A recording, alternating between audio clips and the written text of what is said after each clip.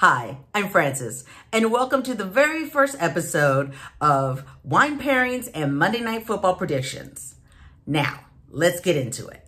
We have two games tonight, and it makes for a great opportunity to have one beautiful bottle of wine or two beautiful bottles of wine. Since we have two games, I'm going to make two recommendations that I think you're going to enjoy immensely. The first game is the Saints at the Panthers. They're going to be playing in Carolina.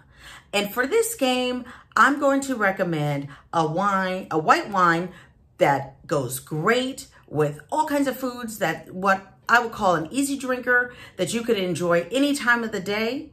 And that wine is Chateau Guiraud's Lagy 2019. It's 50% Sauvignon Blanc, 50% Semillon, and so fantastic. It has a beautiful color, a great bouquet that's full of grapefruit, apple, lime, and it's just tart enough that it's gonna be a great pairing to go with any seafoods or fish, or if you wanna get crazy, if you were having lamb. Now, I don't remember if I told you who's gonna win, but just in case you forgot, I'm going with New Orleans. I don't think that New Orleans is super great, but I think they can get past Carolina today. So take that to the bank.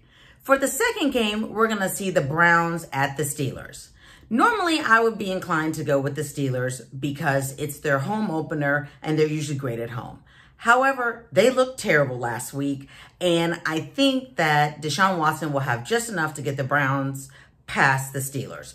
So while you're crying into your wine tonight, maybe with brats or some kind of a heavier meat, I'm going to recommend a red wine. And that red wine for tonight is Vino Godfather's 2016 Prohibition Red Number 2. It's a beautiful wine that's got a great color, a light nose, and it's not too heavy. So if you wanted to pair it with hot dogs or brats, it would be great. If you wanted to pair it with a chicken sandwich, it would also be great. And of course, it would be fantastic if you were having a steak. Now, if you want to find out where to get these wines, go ahead and go to the website amanduswines.com and I can make this happen for you. You can have these wines and be enjoying them at your next game. I'll see you next week.